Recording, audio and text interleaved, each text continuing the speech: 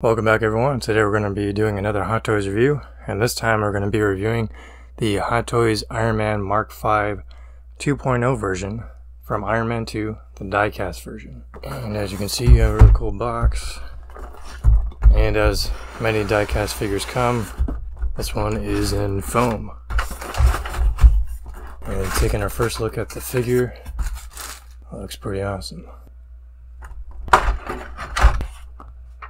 And then you have this bottom section with all the accessories. And here's our first look at the figure right out of the box. And here's a look at all the accessories that this Iron Man figure comes with. And as you can see, it comes with quite a few. More than you would expect with an Iron Man figure. So starting right off, let's jump into the one of the bigger accessories, the uh, suitcase. So this is just one solid plastic piece. Unfortunately, there's no die cast on this. Kind of disappointing. And it doesn't articulate or open up or do anything. It's just a solid piece pretty much. Now with the new one coming out, the uh, suit up version, that one's gonna have a lot more functionality compared to this one. And that is definitely one that I am looking forward to. Either way, despite this not being diecast, has a very good paint job on it that makes it look like it's made of metal. And I think it does a really good job of pulling that off. If I didn't know any better and I just looked at this, I would think it's made of metal. Um, but as you can see, there's a lot of fine details.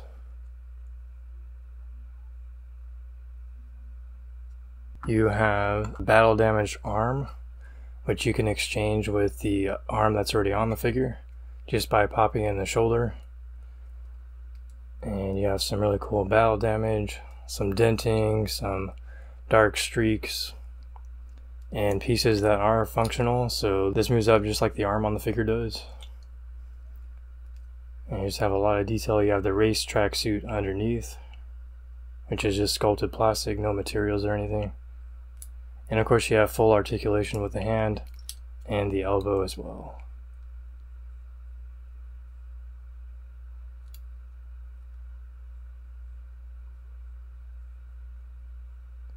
I do think it's kind of disappointing and strange that this arc reactor on the hand isn't painted or there's not a see-through piece on that. It makes it look pretty fake you know, at the very least, I would expect them to paint it uh, white color or have a clear plastic piece because it kind of just and doesn't look very realistic like that.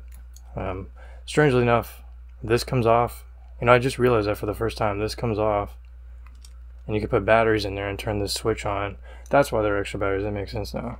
And so I guess this could light up, so you could actually exchange this hand with a different hand that actually would light up because it does have that clear piece.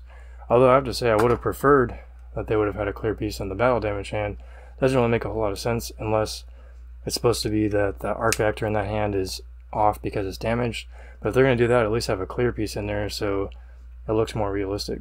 So right now it just looks like a solid plastic metal piece. And then you also have a battle damage hand that you can, of course, as you see there, you can exchange with the other battle damage hand and any other hand you want on the figure.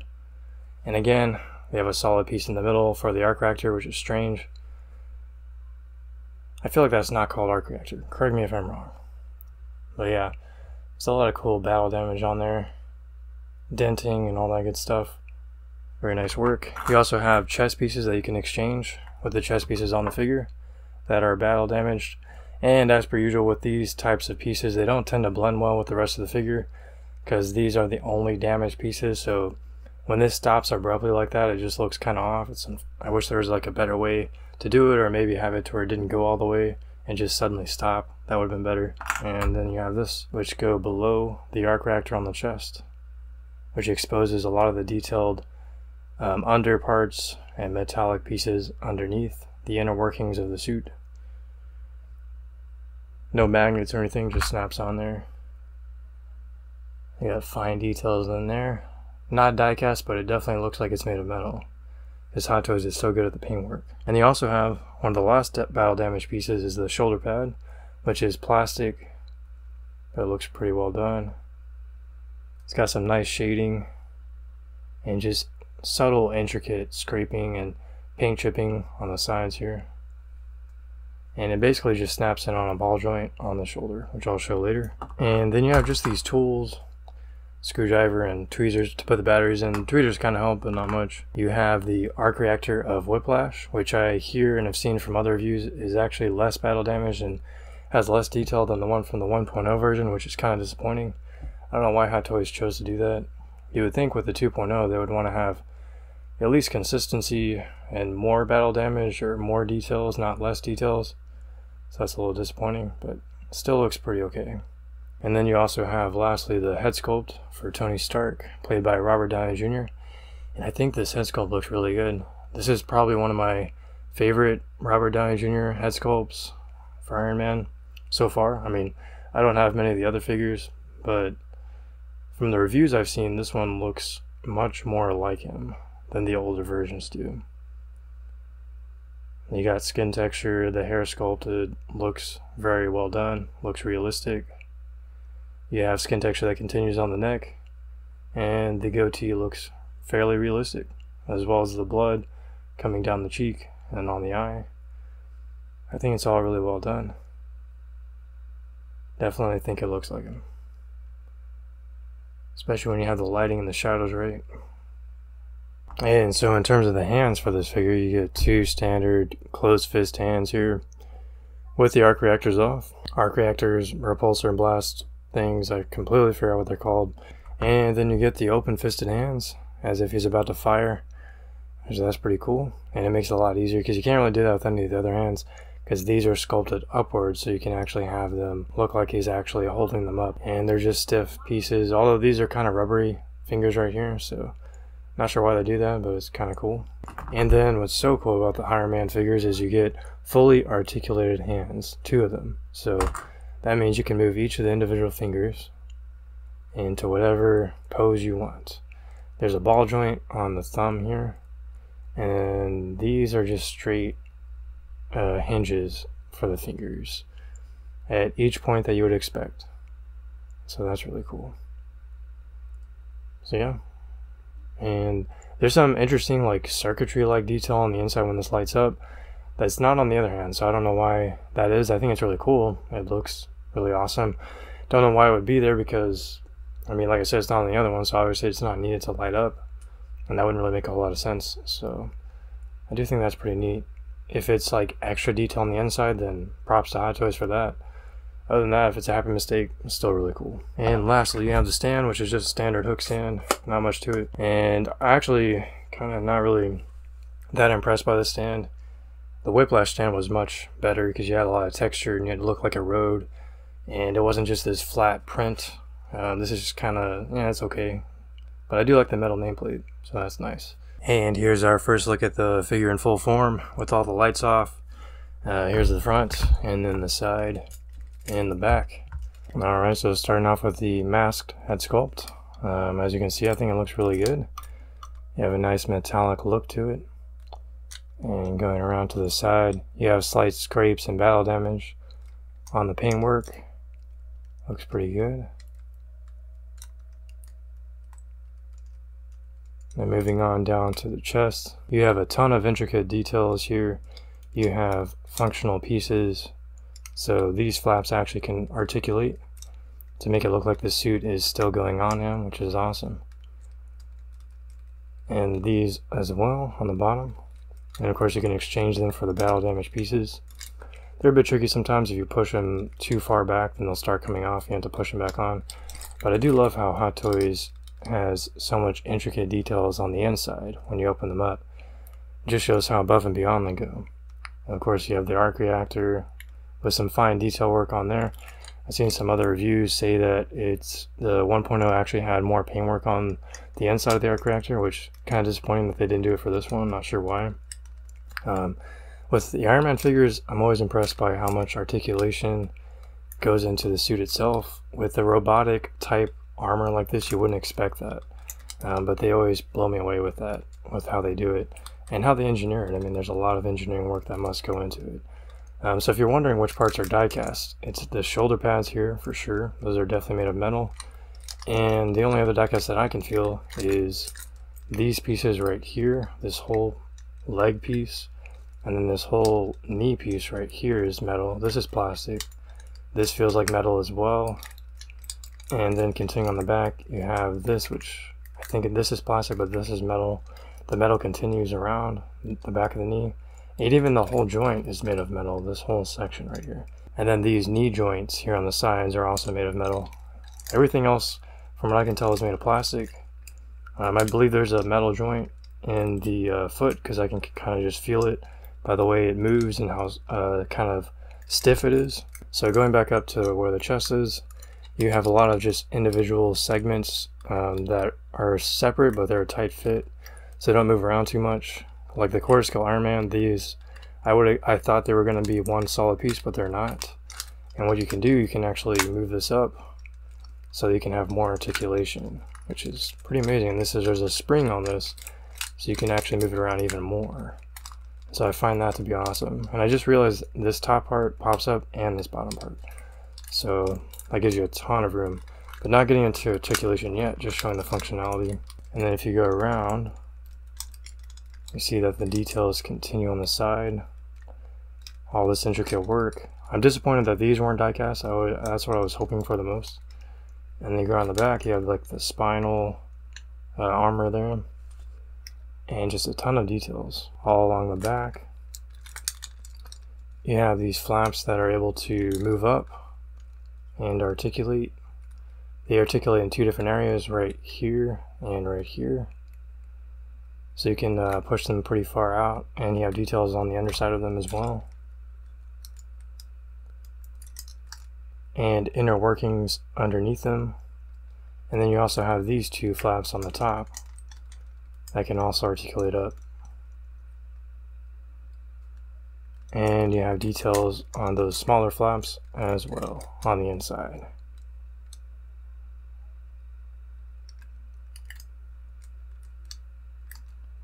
Yeah, I'm just impressed by how many inner working details and just intricacies this figure has.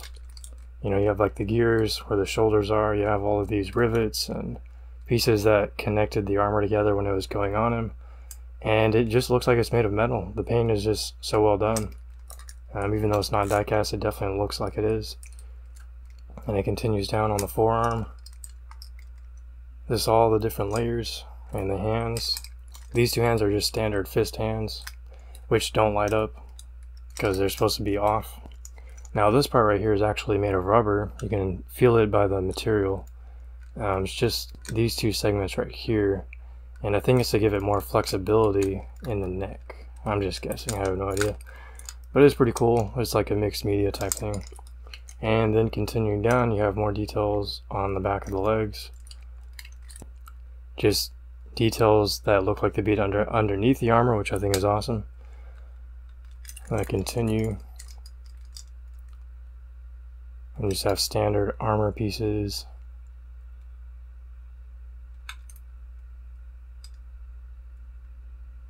It looks like magnets on the bottom of the feed here, which is strange. I was expecting it to be like repulsor circle things. I cannot remember the name of that for the life of me. Um, so that's kind of weird. And there's actually screws in here. I wonder why that is.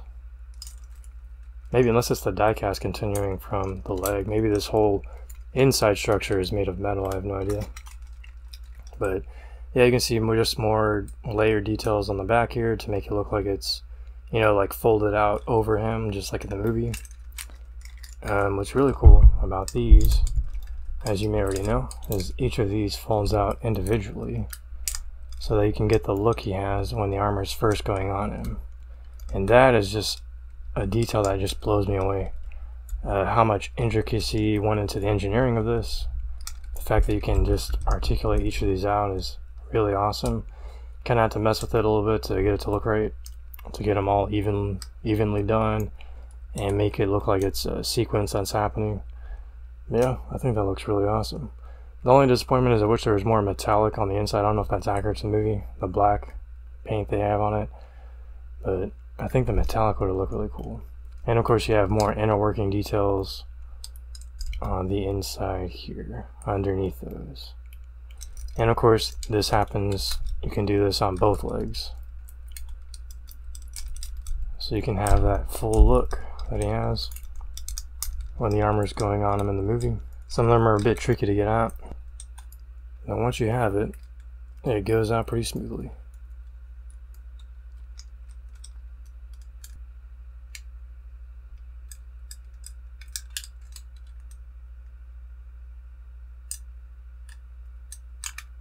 So you're probably wondering where all the batteries go. You'll find out when you get the figure or you can find out right now.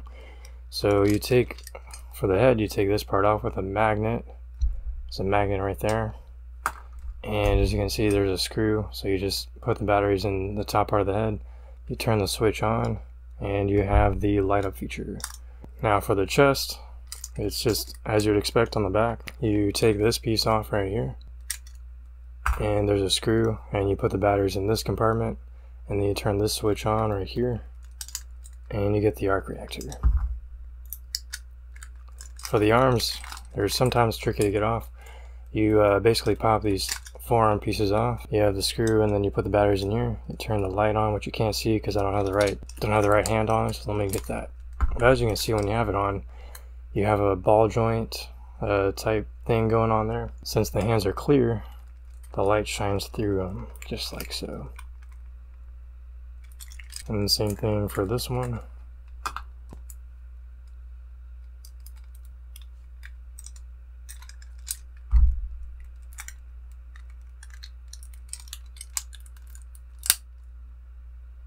And so then you have Iron Man all lit up.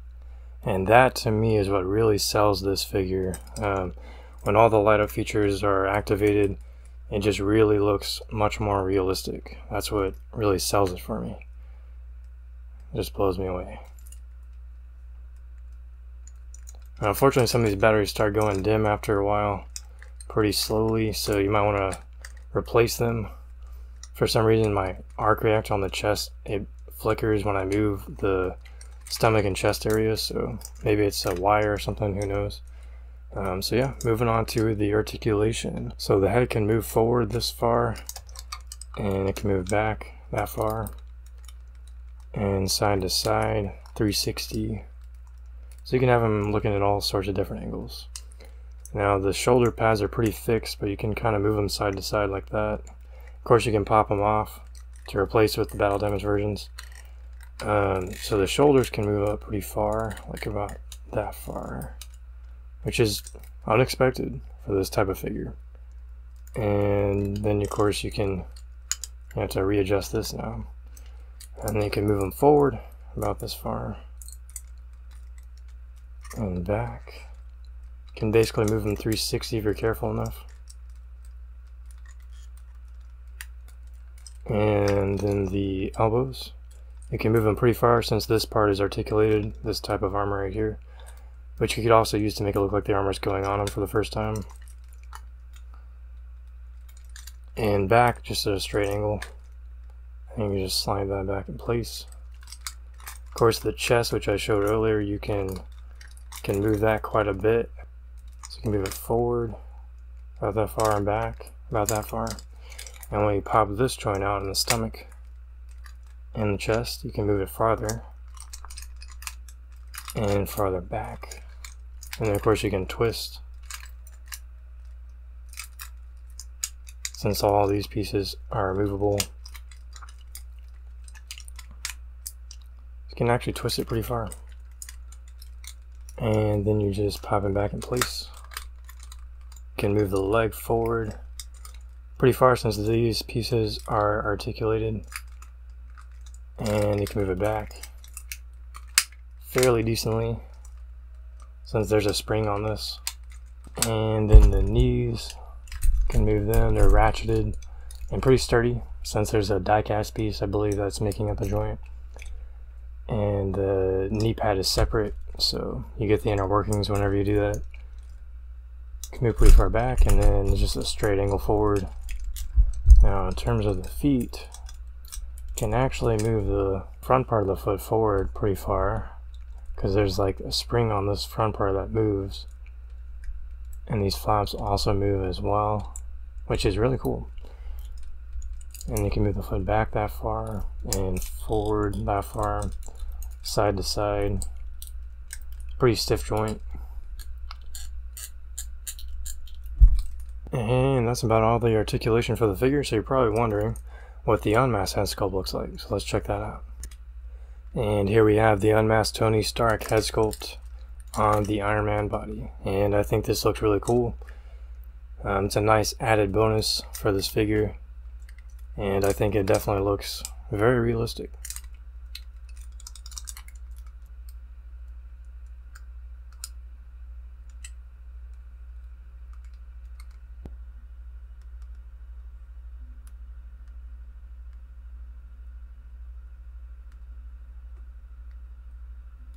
And with the unmasked head sculpt, the articulation, there's none in the neck, but you can move the head down about that far, back about that far, side to side, at an angle, and of course 360. So yeah, you can do pretty much a lot of different things with this figure. Now let's check out those battle damage pieces. So for the battle damage pieces, you would basically take this front part off on the arc reactor. You would pop these off.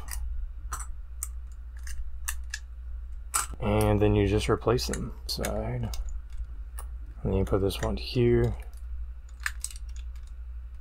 And then lastly you pop in the arc reactor piece and you have the battle damage look. Of course, the next step would be to replace the shoulder pad. You have this battle damage shoulder pad for this side. You want to be careful in popping this off not to break it. As you can see, it's connected by a ball joint. Alright, so you just carefully take it off. And then you align the ball joints and pop the battle damage one on. So with much trouble I finally got this battle damage uh, shoulder armor on. So pro tip, you just it's much easier just to pop this arm off out of this uh, gear socket right here. It's a ball joint and you just pop it back in. Much easier than trying to pop this on the shoulder pad on when you have it already in the figure.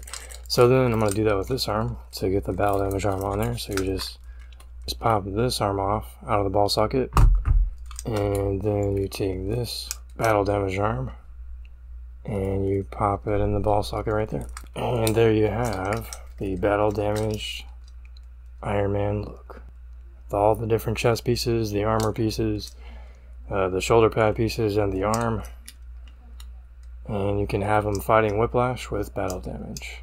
Now I like I said before I wish the battle damage had blended in better on the chest piece. If only these were replaceable or something like that, or maybe the whole piece, but then I get, that would be difficult because you have all these articulated pieces right here. So maybe, but this one's not articulated, so maybe it could have worked if they just continued it and had this, or you could replace this as part of this as well. That would have been awesome, but you know, you get what you get, and so let's check it out with the helmeted head sculpt. And there you have the full battle damage look with the mask head sculpt.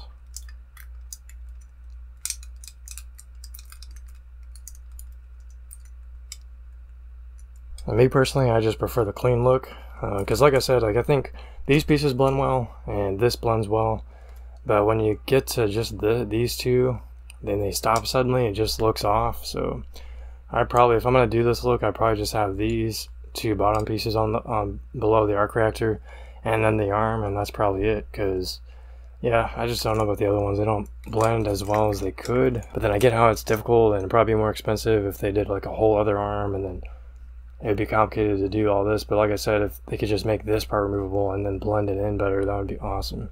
Alright, so in terms of my overall thoughts about this figure, um, I have to say this is uh, this is a tough one. I want to say this is one of my favorite Hot Toys figures uh, favorite Hot Toys Iron Man figures in my collection right now. You know, and that's really hard to say because I love that quarter scale Iron Man Mark III figure. Check out that review on my channel. Um, I love that one because the size, of course, and the fact that it has so much uh, working and functional pieces on different parts of the armor that you wouldn't expect and that you probably wouldn't get with most other figures um, blows me away. And the fact that it's quarter scale. If this was quarter scale, it would probably be my favorite Hot Toys Iron Man figure in my collection, but it's hard to compare this to the quarter scale Iron Man figure that I have right now. So, you know, just if I really want to go off on how I feel about this, I, I do probably think this is my favorite Hot Toys Iron Man figure right now in my collection. Of all time, I don't know. That's a hard decision to make. There's so many different Ironmans out there with Hot Toys. It's hard. Um, and I don't have, these are the only ones I have right now, so I will say this though, in terms of the positives, jumping into those, definitely love the diecast pieces. Do I wish there were more diecast pieces? Yes, and that is a negative. Uh, you know, when, when a figure says diecast on it and it's a 2.0, you really expect there to be far more diecast pieces. You know, not just on two different areas of the whole uh, body armor, you know, not just on the shoulder pads and, and the part of the legs, but you really expect it to be a fair amount of the figure. And so and and you know it can be done because I mean modern technology and all that stuff. I mean, we know they've done it with other Hot Toys figures where they've had more diecast pieces, at least from what I hear. Um, as far as I understand from what I hear, this probably has the least amount of diecast on it compared to other Hot Toys figures. I don't know how true that is. That's what I think. That's what I've heard. So you tell me. Um, so yeah, that's that's a big negative for me. Is I really wish there was more diecast on this figure, especially if it's going to advertise itself as a diecast on the box and everything. You know, I'm, if I'm going to spend that kind of money too, I really expect there to be more diecast, um, and that would really make this figure even way better. It's already really cool, and it looks like it's made of metal. So going back to positives, this figure looks amazing. I mean, just the look of it blows me away. It may not be my favorite two colors of the Iron Man collection, but just the way that it looks like it's uh, came from a suitcase, the way that it looks transformer like, like that it folded out onto him and it has all of those rivets and just pieces and the way it's sculpted to look like it's folded out onto his arms and legs and chest and back and all that. I think that's really cool, and the fact that they added extra articulation in some some of those pieces that are supposed to be folding onto him is even better. Just going above and beyond you know, like the fold out chest pieces and the fold out pieces on the legs, which are the coolest part pieces of articulation of any Hot Toys figure that I've seen because of how intricate it is. And the articulation of this figure is, is really well done. Not something you would expect. I wouldn't expect a robotic armor like character like this to have so much articulation in an action figure form, but this one does, just like the Iron Man Mark III scale one I have.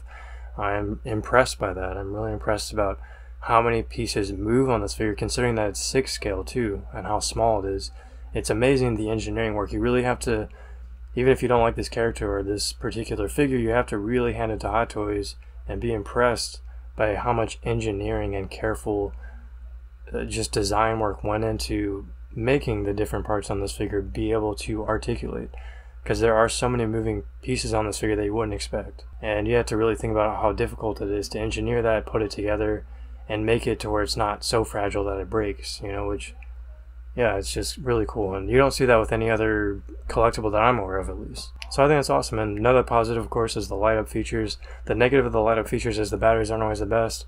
So the lights, at least right now, they seem to be going dim already for me. And I've only had it for like a week. So yeah, you might want to maybe replacing the batteries might work or modding it up with some wire work and stuff. I'm kind of surprised they didn't do a USB thing since they're switching to that now for new figures if it's a 2.0 that would have been a really cool thing to change um, other positives i like how it comes with some interchangeable pieces um, with the battle damage parts and the unmasked head sculpt. The unmasked head sculpt is a huge positive. I think it definitely looks like Robert Downey Jr. I think it's very well done, well painted, has a skin texture. I love how it has that scar with the uh, blood coming out. That's a really cool feature. Negative of the battle damage pieces is that they don't blend in very well. At least two of them don't. So that bothers me. It makes me not want to use those two pieces. I wish there was a better way to make them blend better, maybe with more interchangeable parts. I think this is a standout figure, at least in my collection it is, compared to my other ones. You know, it's weird because I was actually not plan I was on the fence about getting this figure because I'm not like the bit like Iron Man isn't my number one character that I, that's my favorite. My favorite character is Spider-Man. I don't know, it's hard to say. Iron Man's not like the it's not like my top. I don't know. I mean, maybe my top three, but but it's not like uh is the price point of these Iron Man figures is so expensive for one, and for two, there's so many different Iron Man suits out there. They all, it's not like they blend together, but I feel like do I need to get all of them? No, I don't feel like I do. I feel like if I have one or two or three, that's good enough. Like my favorite ones, because then it gets kind of repetitive after a while. At least for me. And so picking up this one, you know, and it wasn't my favorite design necessarily. I just think it was a really cool idea of how the suitcase folded out onto him. It's not my favorite color design necessarily, but I do think it looks cool. And having it in person, I am very impressed by the way it looks. So I am thankful that I got it and that I ended up getting this figure after all. Even though I was planning on maybe not getting it, I was really on the fence. But yeah, I think it was just for those reasons. Iron Man is my favorite character of all time, and there's just so many out there. It's you know, you have one and you feel like you have them all, kind of, even though that's not really true because they all do look different. But at least for me, I don't feel like I have to have every Iron Man figure, and they're not all my favorite. Like my favorite costumes are really the Iron Man one and two, and then past that, I kind of lose interest in the designs. That's just me. So I'm probably not going to get too many other Iron Man figures. Probably just the classic early ones from Iron Man one and two. So yeah, this one was definitely one I got, and I had Whiplash, so I figured, you know, it's probably good to get. And I'm definitely going to try to get that uh, suit up armor look one that's coming out, hopefully in the next few months, because I think that one's just really impressive with the way it looks. I don't regret getting this figure. I, I think it looks really awesome. I wish there was more diecast, kind of disappointing, but still looks really cool and just yeah, just kind of blown away by that. So yeah, I would highly recommend this figure. I think if you like this um, suit and if you missed out on it before now you got a chance with the 2.0 and you're on the fence and you're like, I don't know. I say if you missed out on the other one, you regret it, then get this 2.0 version because I think it's awesome. Let me know what your opinion is. I want to hear it. Let me know in the comments below. And until the next video.